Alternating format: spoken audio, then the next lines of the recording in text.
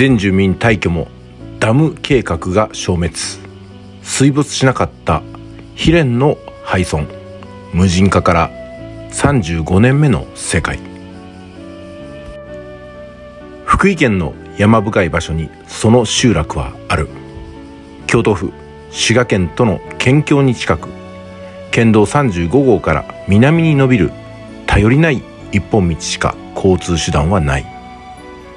都会の喧騒とはかけ離れたこの場所にかつて9世帯が暮らす長谷集落があった。その平穏な村にダム計画が持ち上がったのは今から40年前の話だ。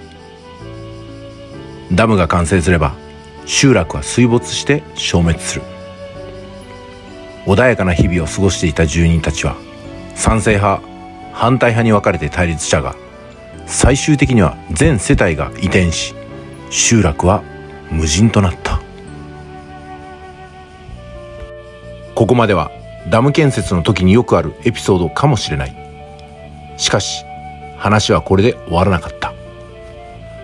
無人集落となった後なんと計画が根底から見直され結局ダムは建設されなかったのだ。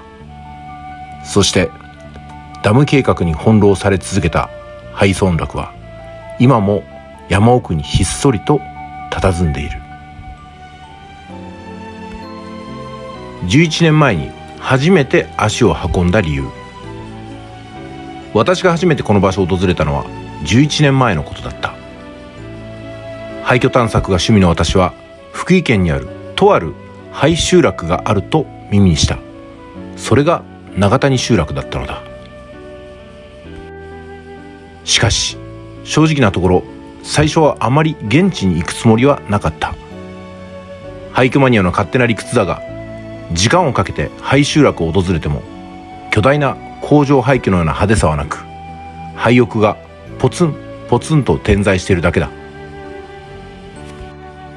また学校や旅館のようにかつて不特定多数の人を受け入れていた建物とは異なり個人宅は外から観察するのは気が引ける部分がある。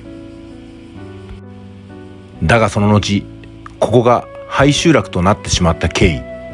ダム計画に翻弄された過去を知るとどうしても気になってしまい実際に現地を訪れることにしたのだ。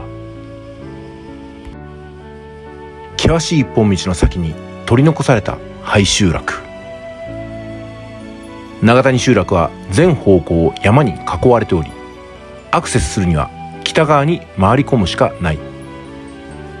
ただでさえ細い一本道は荒れ舗装も所々で剥がれてしまっていた。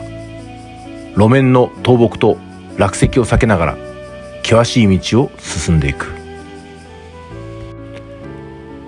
なんとかたどり着くと長谷川に沿って廃屋が点在していた。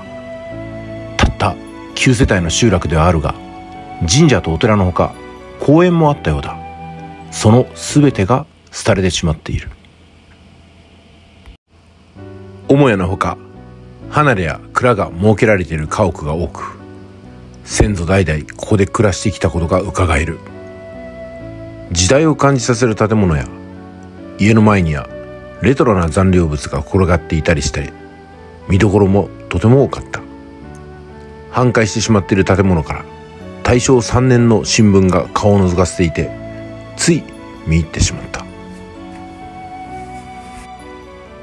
神社に残された200年以上前の残地物。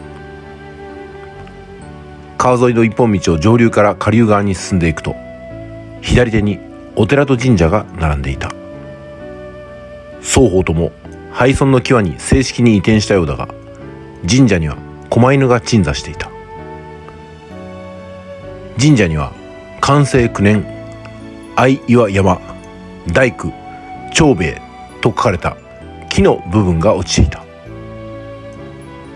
完成9年ということは西暦1797年なので200年以上前もということになる。直前に何かの工作物が朽ちてこの文字が露出したようだ。墨で書かれたその文字はすぐに消えてしまうだろう。大正3年の新聞と同様廃墟にある残地物との出会いはまさに一期一会だ。どんなに希少なものであっても建物とともに自然と朽ちていってしまう。それは保存も解体もされず放置されている廃墟の宿命と言えるだろう。こうした廃集落を訪れる際部外者である私は傍観者に徹するように努めている。自然に口当てあるいは人為的に取り壊される廃墟をただ眺める。破壊しないのはもちろんのこと。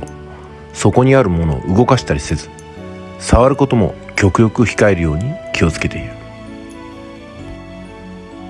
慎重に川を渡った先には集落街をめぐり残すは川の向こうにある一軒のお宅だけになった。川を渡る橋はすでに朽ちていたためやむなく靴下を脱いで川に入る。初秋だったが思いのほか水は冷たく寒さに震えた。水深は浅いものの流れが速く川底には苔が生えていて滑りやすい。ゆっくりと慎重に対岸へ渡った。部落を割る関電電発に絶対反対。冷えた足を拭って対岸に上陸し廃屋の正面に回り込む。そこには手書きの看板が掲げられていた。部落を割る関電電発に絶対反対。この看板が集落の歴史を如実に表しているように感じた。おそらくはダム計画に反対し最後までここで暮らしていた方のお宅だろう。集落内にはもう一つ関電の電発に反対と書かれた看板があった。筆跡やペンキの色から察すると作者は同じだろう。ダム計画に翻弄されたこの廃集落は秘伝という言葉では表せないほど独特の空気感に満ちている。80年代に持ち上がった2回目のダム計画。この集落を二分したダム計画というのは当時日本で最大級となる揚水式水力発電を建設しようというものだった。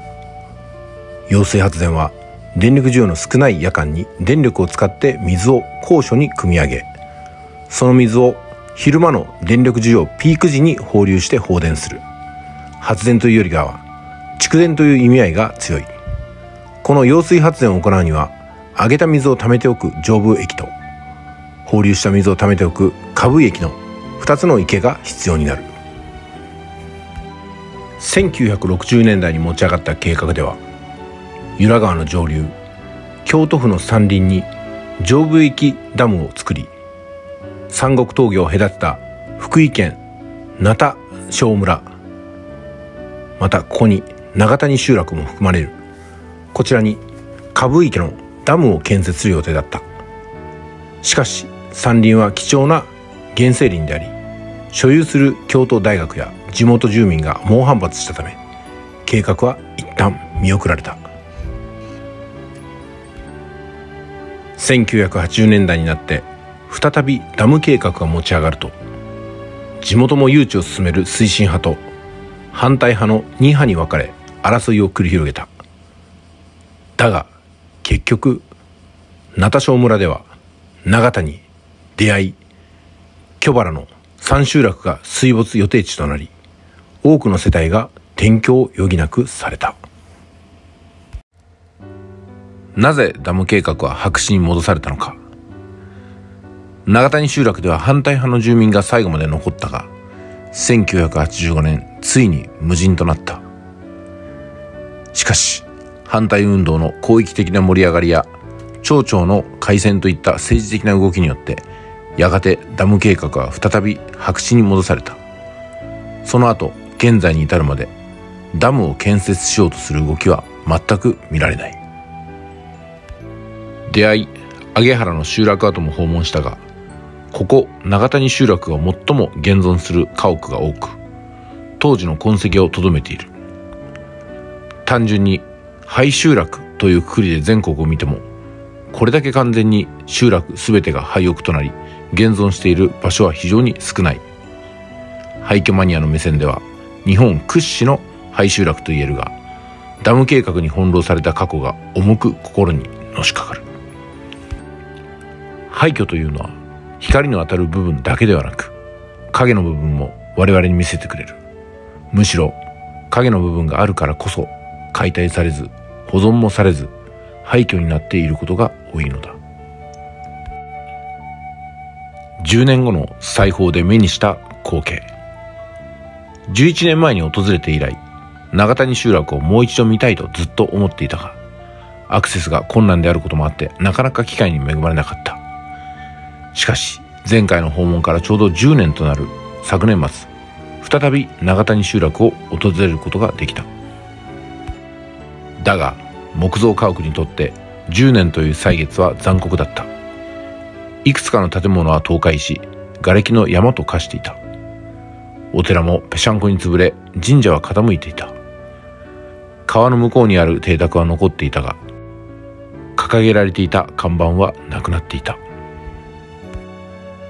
ダム建設に翻弄され続けた悲恋の廃集落ここに人々が暮らしそして去っていた経緯を示す痕跡は着実に色をつつある。